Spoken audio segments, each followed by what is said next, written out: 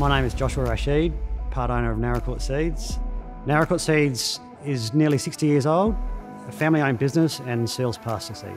We were looking for a product that would repack our seed rather than having to do it hands on. So Aurora was one of the ones that we wanted to speak to to start with. So the robot has done one full seed season for us, so working really well. So previous to the robot, we would have one mixing output machine. So everything that got mixed had to go into one machine. Someone would then bag it off into a 25 kilo bag and then physically have to go and put it on a pallet. Going to the robot meant that they were able to bag off automatically and then the seed would run on the conveyors and the robot would do all the work.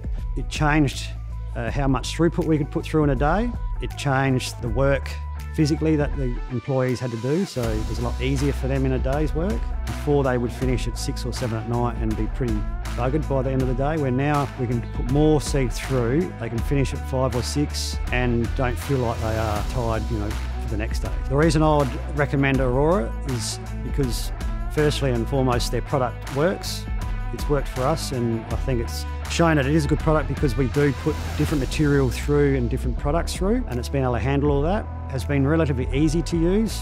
So their whole package they delivered, um, yeah, I'd have no hesitation in recommending them. It's, it's changed our business completely. Overall, we've got a product behind me which is working for us and we look forward to getting better at it in the next season and putting more seeds through this season.